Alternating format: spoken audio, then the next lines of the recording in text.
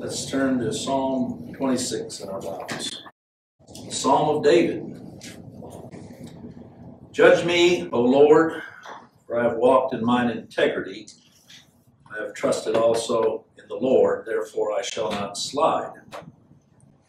Examine me, O Lord, and prove me, try my reins and my heart. For thy loving kindness is before mine eyes, and I have walked in thy truth. I have not sat with vain persons, neither will I go in with the dissemblers. I have hated the congregation of evildoers. I will not sit with the wicked. I will wash mine hands in innocency, so will I compass thine altar, O Lord. That I may publish with the voice of thanksgiving and tell of all thy wondrous works. Lord, I have loved the habitation of thy house, the place where thine honor dwelleth. Gather not my soul with sinners, nor my life with bloody men, in whose hands is mischief, and their right hand is full of bribes. But as for me, I will walk in mine integrity. Redeem me, and be merciful unto me. My foot standeth in an even place, for in the congregations will I bless the Lord. Gracious Father, as we gather today, we're mindful that we are in your presence and we're here not according to our own will, but you've directed us here that we might once again rejoice in your glorious name and rejoice in the person and work of the Lord Jesus Christ, who alone has walked in integrity. And by his faithfulness, we have that acceptance before you and him. And so we publish with a voice of thanksgiving and tell of all thy wondrous works. So I pray that every aspect of our worship would be to his honor and glory alone. And we're mindful to give you the praise, honor, and glory in his dear name. Amen. Let's take our bulletins and on the inside cover, sing this hymn to the tune of Oh Worship the King.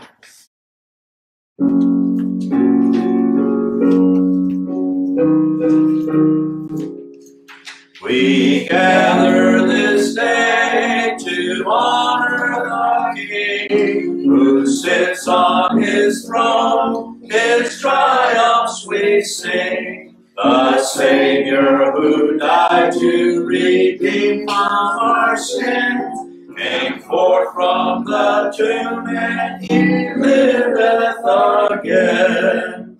Christ Jesus our Lord, the battle has won. He died and arose, the work is all done. He took on himself all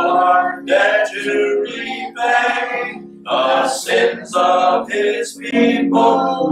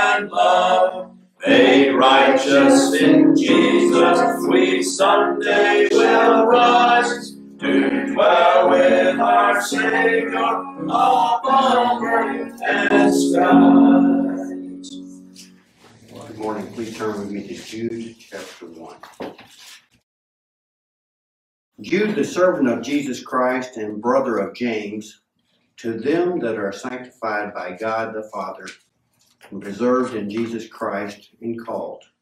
Mercy unto you and peace and love be multiplied. Beloved, when I gave all diligence to write unto you of the common salvation, it was needful for me to write unto you and to exhort you that ye should earnestly contend for the faith which was once delivered unto the saints. For there are certain men crept un, in unawares, who were before of old ordained to this condemnation, ungodly men, turning the grace of our God unto lasciviousness and denying the only Lord God and our Lord Jesus Christ. I will therefore put you in remembrance, though ye once knew this, how that the Lord, having saved the people out of the land of Egypt, afterward destroyed them that believed not. And the angels which kept not their first estate, but left their own habitation, he hath reserved in everlasting chains under the darkness unto the judgment of the great day.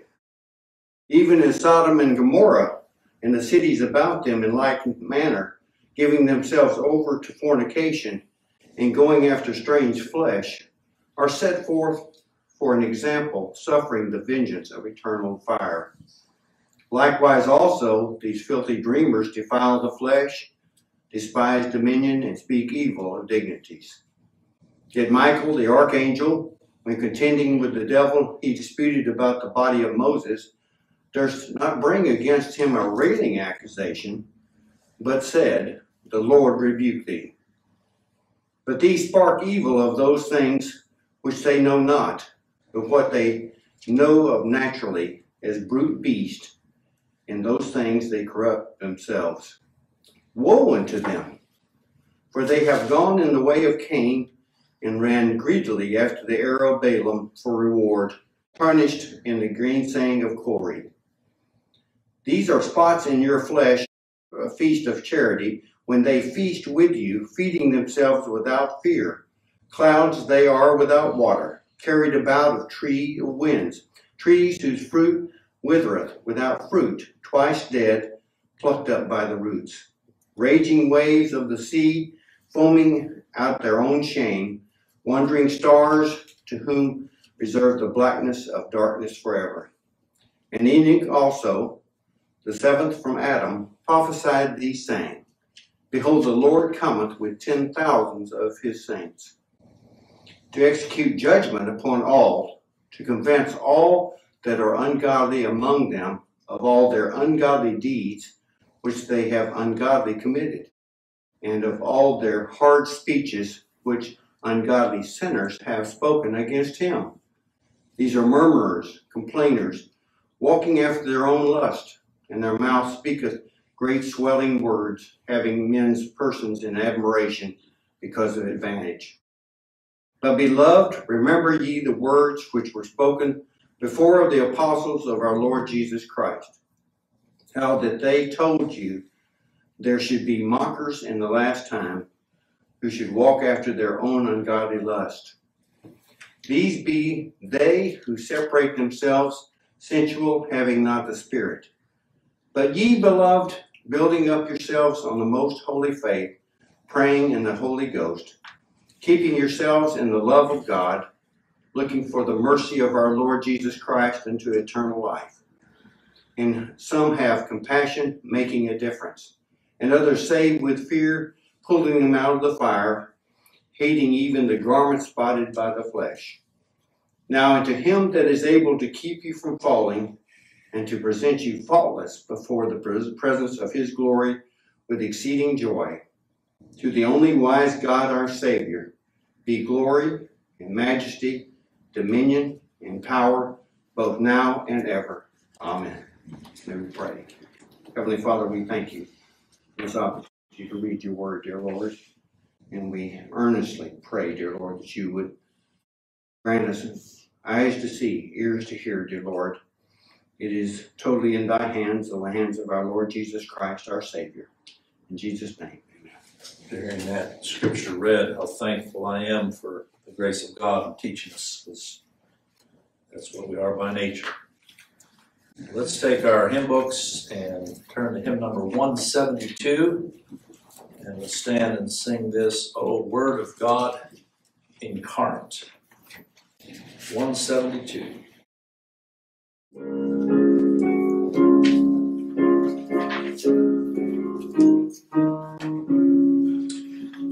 the Word of God incarnate, O wisdom from on high, O truth unchanged, unchanging, O light of our dark sky. We praise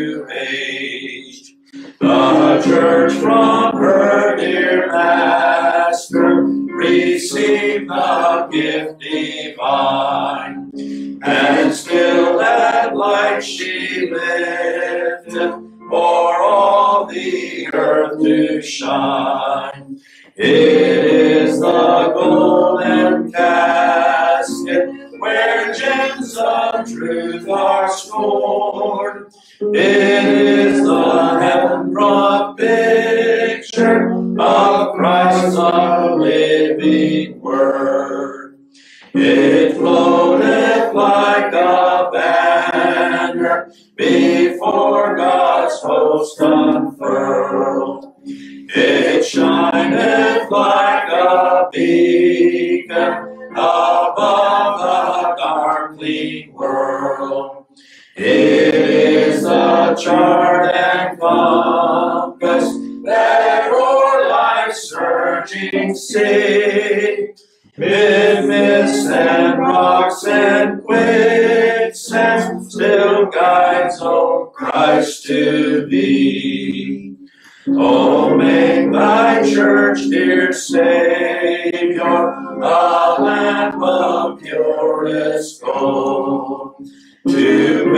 Before the nations thy true light as of old.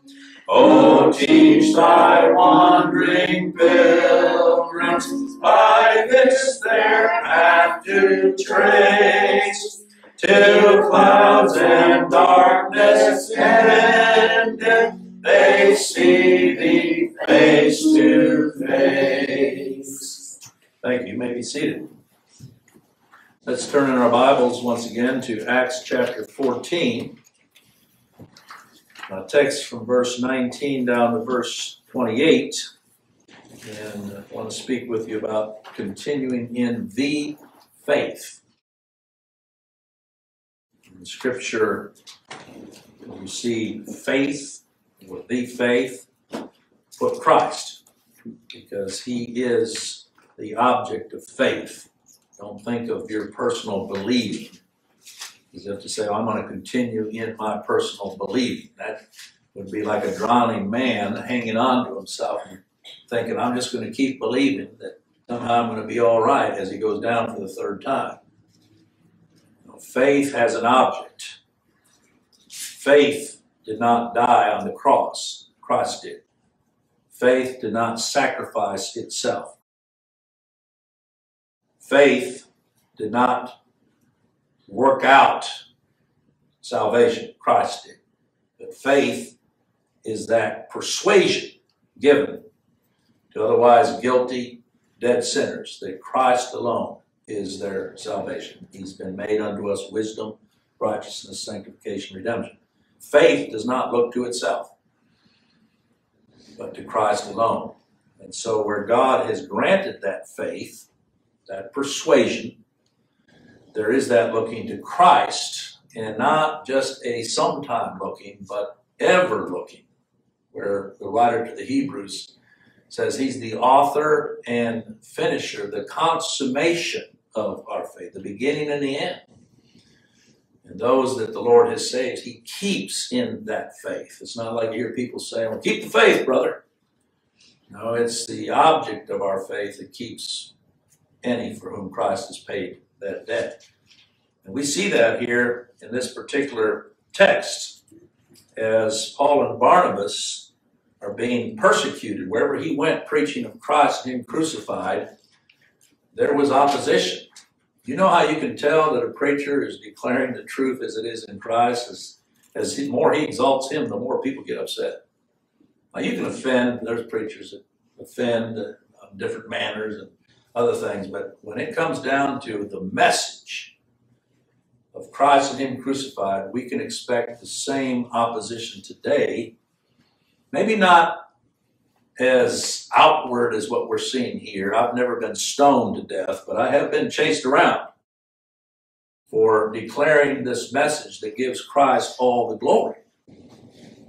And so that's what we find here. The Lord had said that to his disciples in the world, you shall have tribulation.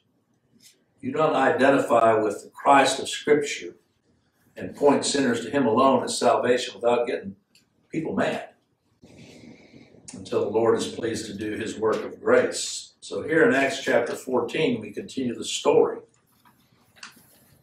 The last part we looked at was where these folk thought of Paul and Barnabas as being gods and would have sacrificed sacrifices unto them as if they were somebody. And the Lord used this message of Paul there in Lystra. These are different places over there in what would be known today as Turkey to turn hearts to Christ. But verse 19 says, There came thither certain Jews from Antioch and Iconium. This would be a different Antioch from which Paul and Barnabas were set out in Syria, where they were first called Christians. This would be on the map further north up there in what we know as Turkey today.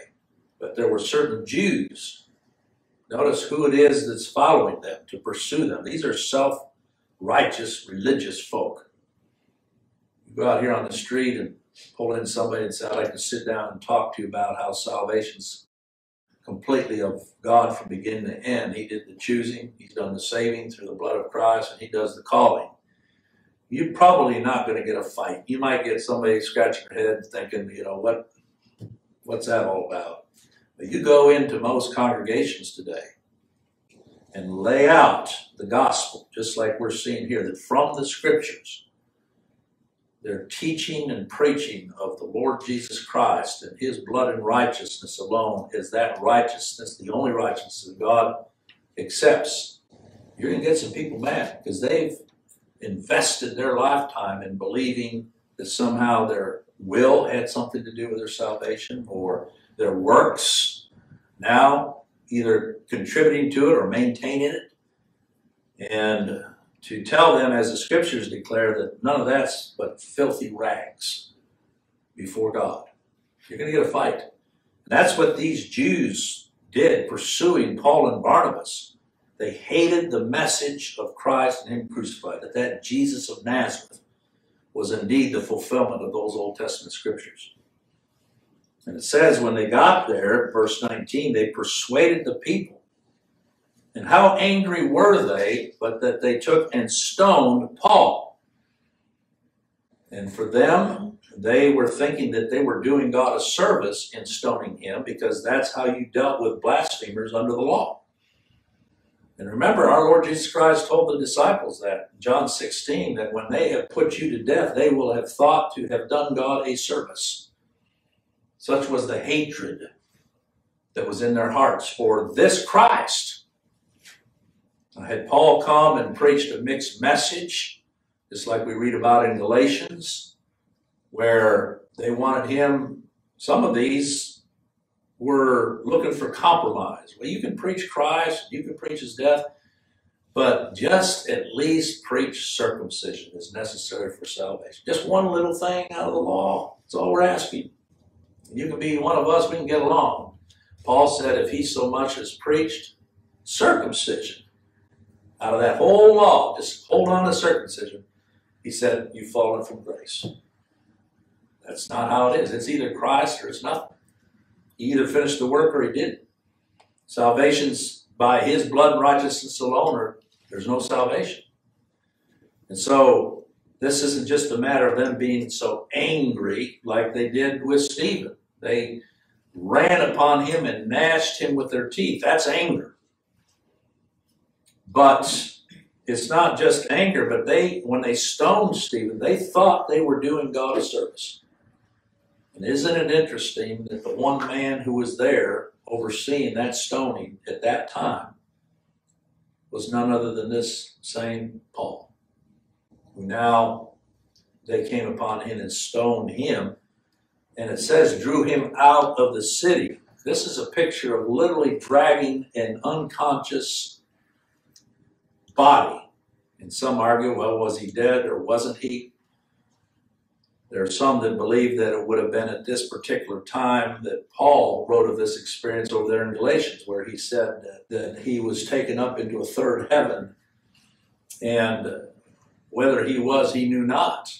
But he just knew that when he came back to life, or because there it says they left him for dead, supposing that he had been dead, that the Lord, even in that experience, had sustained Paul and shown him things concerning glory.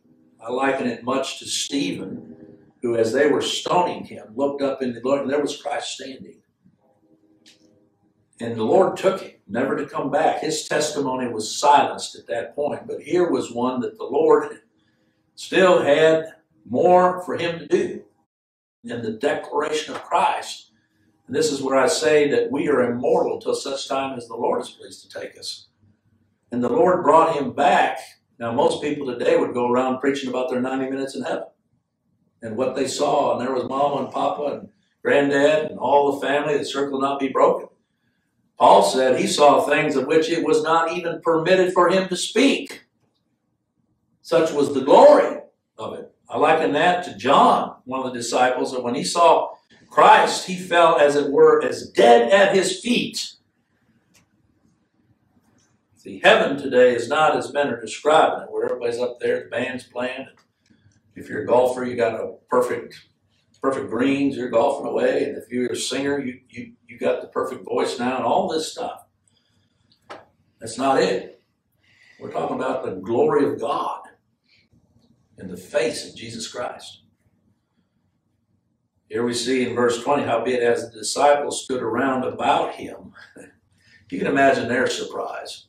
Here was the man who had just been preaching Christ to them, and he's laying there as dead. And suddenly the Lord strengthens him, and he rose up. I don't have any problems at all believing that he was dead and the Lord raised him up, just like with Lazarus, brought Lazarus back. You realize that when Lazarus was brought back to life, nothing the religious folk hated more than the fact that now they not only had to deal with Christ, but, but Lazarus. In fact, that, that's it says that they, they came to seek to kill both Christ and Lazarus. And this wasn't the end of the story for Paul. Having been raised up, it was to continue to preach this gospel of Christ and to ultimately face the persecution of death, whereby he was decapitated under Roman law. And who was it that delivered him up but these same religious Jews that detested his message of Christ? The same ones that delivered up our Lord Jesus Christ. According to God's determining, they he was delivered into wicked hands and crucified and slain. You don't identify with this Christ without the uh, hatred and the opposition of dead sinners, religious dead sinners. But as they, as the disciples stood around about him, that means that they had drug him out and left him and they went their way. Can you imagine the surprise of these to find out that he's he's back? You're not going to take one of the Lord's until the Lord determines it. It says he rose up and came back into the city. It wasn't because he was delusional uh, that they said, "Oh no, Paul, you don't want to go back into that city." No, he he went back into the city, and the next day he departed with Barnabas to Derbe.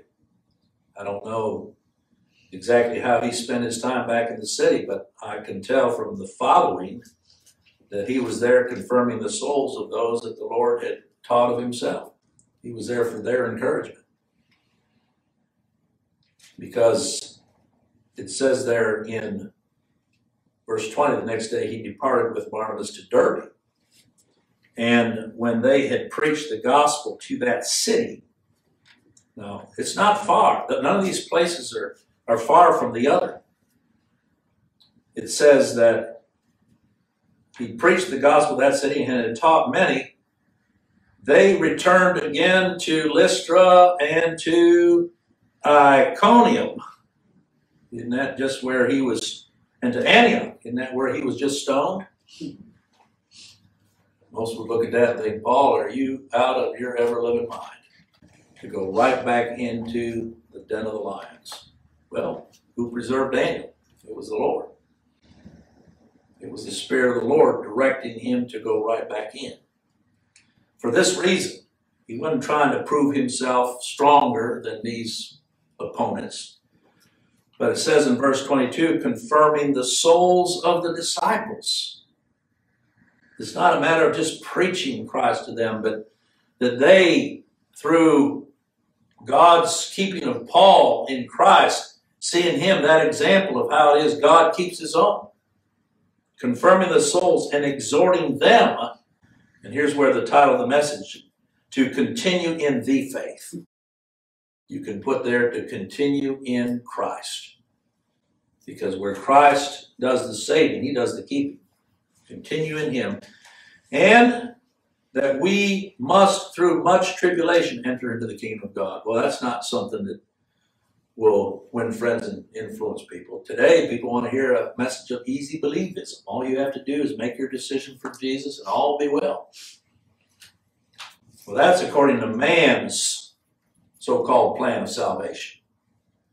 But according to Scripture, according to the faith of which Bob read there in Jude chapter 1, the faith once delivered unto the saints, the faith that is Christ and Him crucified from beginning all the way back there in Adam, all the way to the end of the time. Him being the one faith that it would be through much tribulation that these would enter into the kingdom of God. So long as we're in this flesh, so long as we are identified with this gospel of Lord Jesus Christ, we can expect not just tribulation, but much tribulation.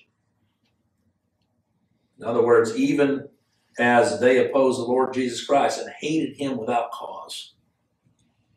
So they will hate any today that the Lord has caused to identify with him and his gospel. He's, he's dividing families. He's dividing associations. And such is how God has determined it. And it says, Then when they had ordained them elders in every church, in every assembly of called out ones, and had prayed with fasting, in other words, such was their diligence as to the work of the Lord that food was not a priority. Here, more important even than eating, was seeking the Lord's direction for these that they would soon be leaving and yet trusting that they being the Lord's, that He would keep them. See, we many times think that if I'm not there, I'm not doing the preaching, or I'm not doing the keeping, then somehow this is all going to go to naught. It's not in the Lord's work. It says they commended them to the Lord. They didn't go around starting baptismal classes and catechism classes, and we got to get these shored up. It's just like Philip with the Ethiopian eunuch. When the Lord had drawn his heart to Christ and he was baptized, Philip never saw him again. He headed on his way. Well, who was doing the, the so-called follow-up? Remember back in my days, you know, you had to you had to get them saved, and then you had to have somebody follow up. Discipleship meant okay, you, you it's a mentorship. You got to stay with this one until they're steady on their feet, and once they are, then you go get another one. That's the way we were taught, but that's not how God does His work. They commended them to the Lord. Who is it that does the saving? It's the Lord. Who is, who is it that does the keeping? It's the Lord. On whom they believed. And after they passed throughout Pisidia, they came to Pamphylia. And when they had preached the word in Perga, they went down to Attalia and thence sailed to Antioch. They had done the great circle route and now headed back to where they had been sent. And from whence they had been recommended to the grace of God for the work which they fulfilled. And when they were come and gathered the church together, again, it's not a building, the church is those called out ones for whom Christ paid the debt.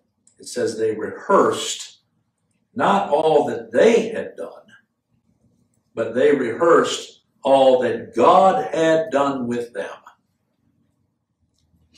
and how he had opened the door, there it is again, of faith, that is, of Christ unto the Gentiles.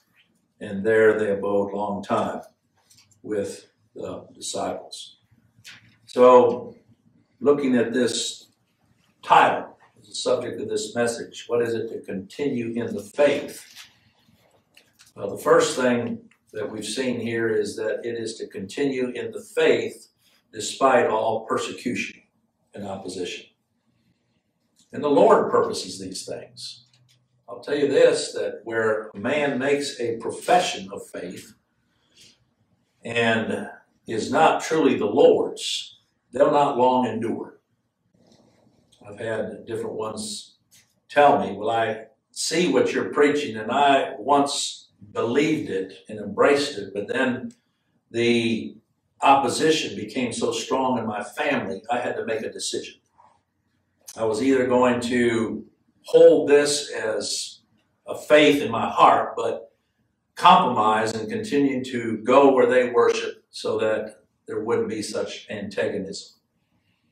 Well, I will tell you that somebody that reasons that way has never been taught of Christ. You can't hold the faith in secret or in private and somehow think that that's a personal faith and I'm not going to disturb the waters. Now, this, this persecution that the Apostle Paul and Barnabas endured as preachers of Christ and his gospel is something that we all can expect. I believe this is that fiery trial which the Lord brings and burns up the wood, hay, and stubble. And I don't know as anybody can face such opposition as to identify with the Lord Jesus Christ as he is in Scripture. I know that by experience. Before it pleased God to reveal Christ in me, I was a pretty likable fellow. Everybody looked at me like an upcoming, rising preacher. And all throughout this country, the Wimer name meant something.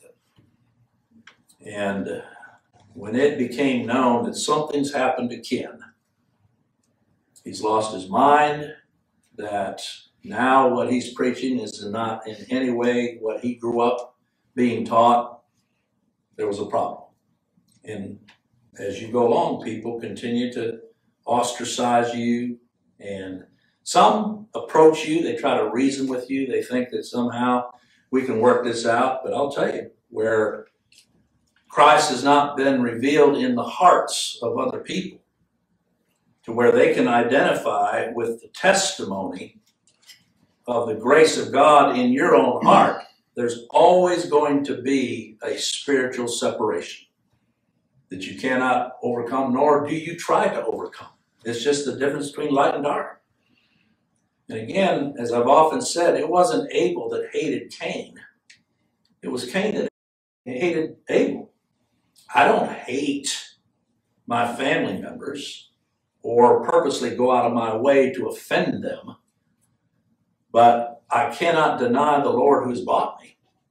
And the Spirit of Christ being that persuasion within me, I pray for His grace to speak graciously, that our conversation be with grace, seasoned with salt. Seasoned with salt means you don't like we used to do to, to fool someone and get them mad, just take the whole salt shaker and dump the whole thing in there while they're not looking. And they take their first bite, or they think it's sugar and it's salt, and boy, they get mad. That's not how we're preaching Christ, who is the grace of God. He's the salt of the earth by which that grace is flavored. But even with all of that, there's going to be opposition, there's going to be separation. I tell people all the time that my true family are these like yourselves, that the Lord has been pleased to teach of His grace in Christ, more so than my physical, earthly family members. I've had uncles and aunts that have passed from this world, and I've never displaced from here to go up to their funerals. Some feel that that's important. Well, you got to keep the tie. No, they died in that hatred. There's a reason there's a separation. There's a reason why there's no more communication. It's over this gospel of Christ. And yet, through that, when God has been pleased to give that faith, there's a strengthening of that faith. It doesn't turn you away from the faith. If anything can ever turn you away from the faith or Christ as He's revealed here in Scripture, that means that there never was faith. Because faith, as described here, gives that ongoing determination to look to Christ and him alone. Where else is there hope? Where else is salvation other than in His person and His work? And so we continue in the faith, not only through persecution, but as I described the definition of the word faith, through persuasion. Remember what Paul said? I know whom I have believed and am persuaded that he is able to keep that which I've committed unto him against that day. Against what day? Against the day of judgment. It's not like some have said to me, well, it sounds like you've got all your eggs in one basket. Well, guess what? Salvation isn't a basket of eggs. That's breakable. You drop it, it's broken, and now you got a mess. Now, salvation is a persuasion. This is a matter of having been put on the rock, Christ Jesus. And uh, on that rock I shall not be moved. That's what drove Paul and Barnabas throughout this whole experience. Even in the face of death, having been persecuted and left for dead, this persecution being brought against them, yet it never changed their persuasion. Just as here in verse 22, where they went back around to all of these places from which they had been chased out. See, I look at that. Men think they own these places. They think this is their territory, but whose is it? It's God's. Think about that living in this world. Whose world is it? It's God's. It's not for men to determine our direction or our destination. It's God. I'll tell you, when God gives you that persuasion that our life is not in the hands of men, but in the hands of Christ Himself, who is the resurrection of the life, Therefore, we will not fear what men shall do unto us. There's that persuasion. But to continue in verse 22, to exhort them to continue in the faith, they themselves are the example of what it is to continue in the faith. They didn't go back there fear and trembling and think, okay, we got to work something out here because this persecution is getting a little bit much. They're preaching and confirming the souls of, of these who are the Lord's out of that grace that had been given to them whereby they are persuaded of these things. And you read Hebrews chapter 11, every one of those instances of faith, of those being in Christ, even though he had not yet come and fulfilled the promises. Yet they all died in the faith. They died believing, looking to, persuaded that when he would come, he would pay their sin debt and God would declare them righteous based upon the work of the Lord Jesus Christ. I'll tell you, when it's a persuasion, nobody can turn you from it. That's what it is to continue in the faith. Sometimes someone will ask you, let's go out and eat. What do you prefer? Well, I prefer steak and potatoes, or I prefer veggies. That's a preference. A persuasion would be, I, I can't partake of anything or eat of anything or do anything other than it be to the honor and glory of the Lord Jesus Christ alone. That's a persuasion. You cannot talk a, a sinner out of that persuasion. There are many people that will tell you, I prefer to be over here sitting under your preaching because I, I really get encouraged by hearing Christ preach the way you do. But When someone says prefer, you just you just hold on, wait, here comes the but. But I've got family. How on earth are you going to be by your example, testifying to the grace of God and the persuasion that there is no other hope that than when you're with them, you go right along with them. Well, that's just one time. I'm going to go over here and bow the knee to Baal. And then I'm going to come back over here and continue to worship Christ as not as he was. I'm hoping that by my example, being kind and nice to them, that somehow they'll eventually see. Do you realize how false that is? We don't confirm others in following after them. We don't go on their turf. We don't find Paul after this stoning going back in the cities and trying to get these religious leaders together and saying, let's, let's have a conference. And let's see if we can't work this out. No. When he went back in, it was for one purpose, and that was to encourage those that were the Lord's, being persuaded. See, that's that persuasion of God in Christ, that there is no other way than in Him. And so, continuing the faith, we can expect persecution, and it's going to be through the persuasion that the Spirit of God gives. But thirdly, it's going to be by the grace of God. Everything that we're studying and looking at here, you might shake your head and say, well, how could he do that? How could this have been the case? Well, through the grace of God. It says there in verse 21 says, And when they had preached the gospel to that city and had taught many, when it says taught many, it doesn't mean they went on to other subjects. No, it was the gospel.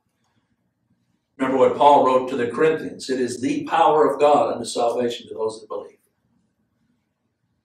And uh, again, there are many that don't have this persuasion. They read it, and I've had preachers tell me that. Well, you're an evangelist, but people need to have teachers too, as if being an evangelist is different from being a teacher. There is no other message. If you don't learn the power of the cross through the preaching and exaltation of the Lord Jesus Christ, you're not going to learn anything. It's going to be pertaining to your salvation. It's by the grace of God. And that's what we see there, confirming the souls of the disciples and exhorting them to continue in the faith. And then when they got back to Antioch in verse 26, notice what it says from whence they had been recommended to the grace of God. You see that word grace, it always means unmerited favor in the Lord Jesus Christ. It's the only way that God ever shows favor to sinners. And so their message in departing was preaching the grace of God. Their message in returning was the grace of God, without any mixture of man's works. Whether that has to do with knowing God in wisdom, whether it has to do with being justified before God, it's through the blood and righteousness of the Lord Jesus Christ alone, by grace, by grace you're saved.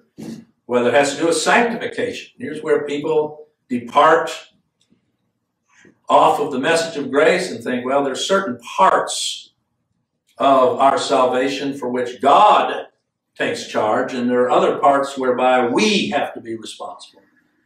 So they move from preaching the unique obedience of Christ for justification to somehow man over here now having to provide some personal obedience.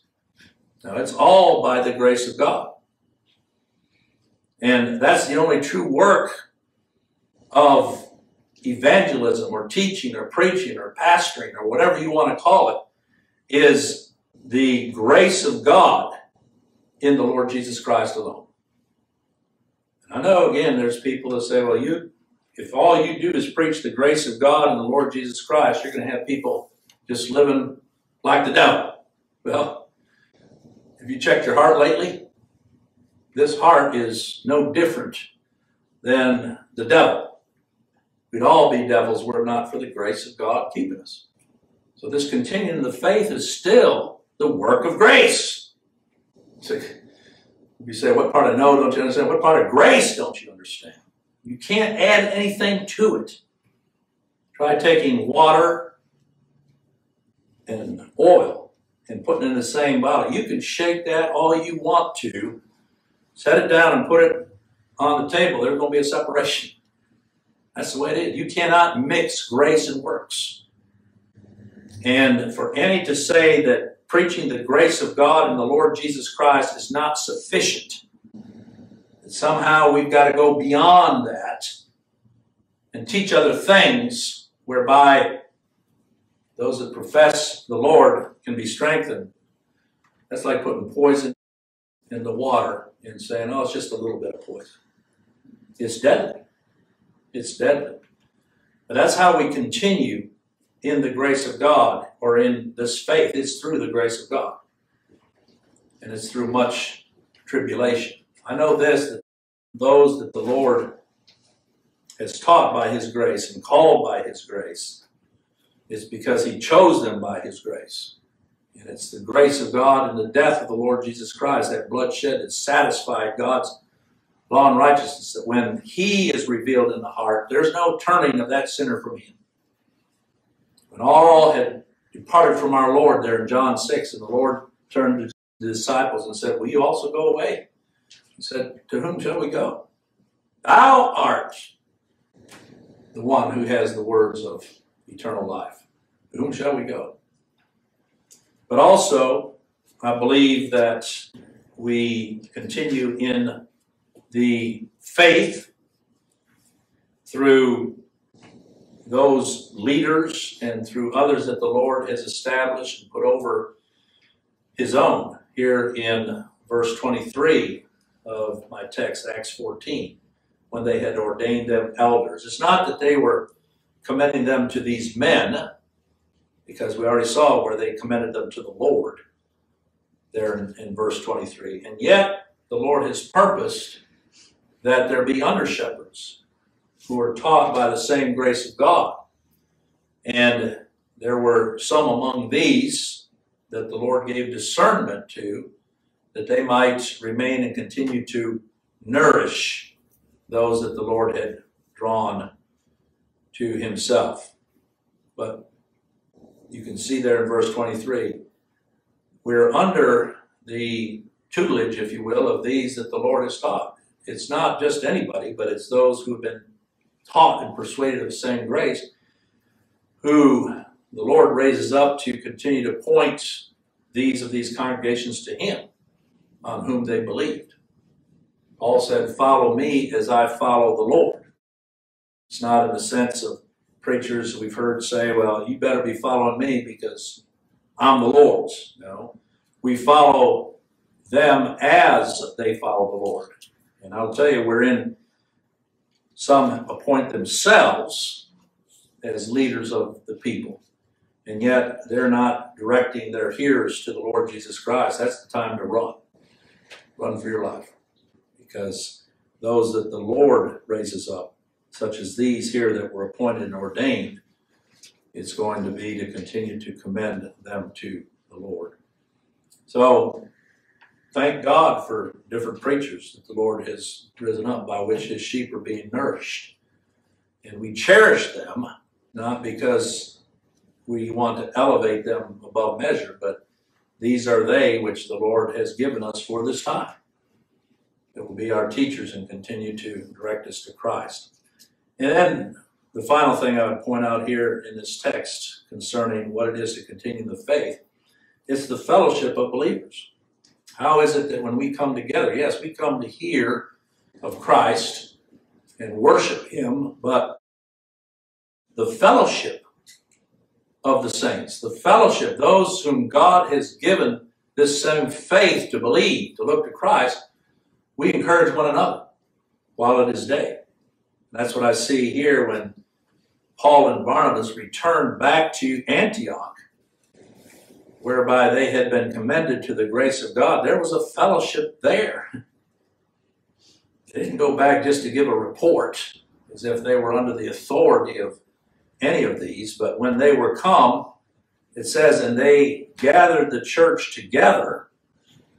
They rehearsed all that God had done with them and how He had opened the door of faith of Christ on the Gentiles. And it says there they abode long time with the disciples. They stayed there a long time.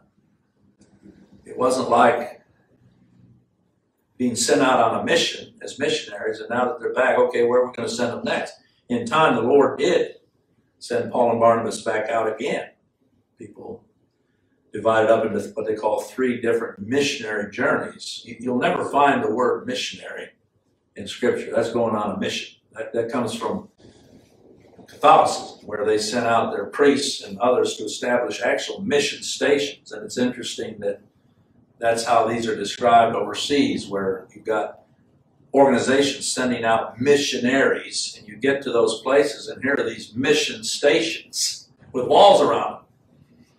So they can dictate who comes in and who goes out. That's not how the scripture describes these trips. I call them gospel preaching trips, whereby Paul was sent out and came back to home base, if you will, because that's where their fellowship was. And what a fellowship it is. So they stayed there a long time with the disciples, verse 28.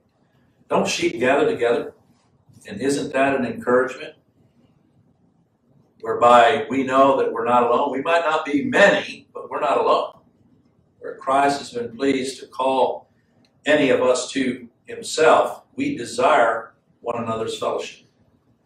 And therein we're also strengthened in that faith to continue in that faith. I know sometimes it seems like we're alone, we're isolated, but the Lord has his sheep. And just like Paul and Barnabas, they didn't have a map as to where the Lord was directing them. They were continually looking to the Lord, His Spirit, to direct them. But I know this God never sends any of His preachers out on fool's errands.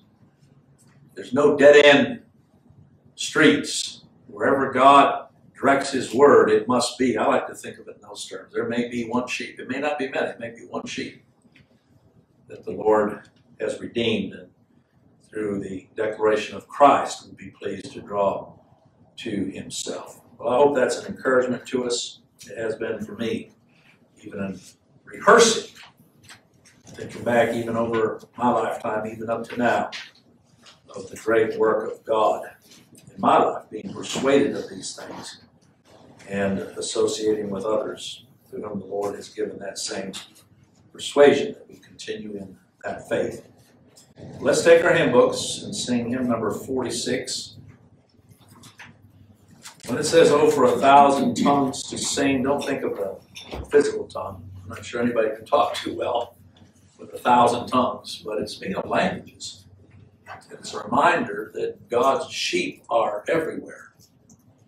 And wherever He directs it, He's going to communicate it in that tongue, in that language, and bring that word home to the heart of his redeemed ones. Let's stand and sing this. Oh, for a thousand tongues to sing my great Redeemer's praise.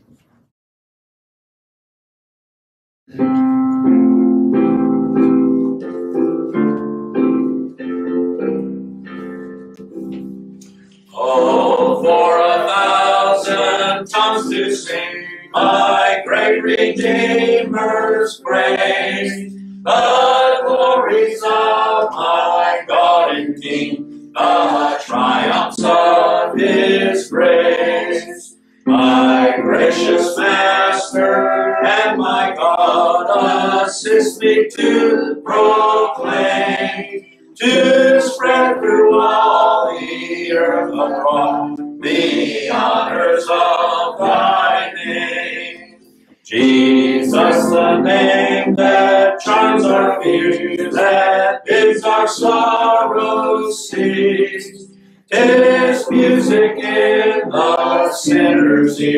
ears,